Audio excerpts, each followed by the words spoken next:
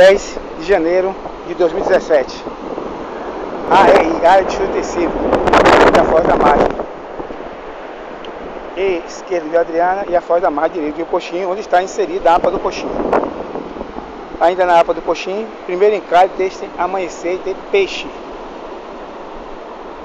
Ele ainda está em natura, os predadores, um passou por aqui apenas um, ou não gostou, foi chamar os amigos, e se trata de estar tá totalmente natura.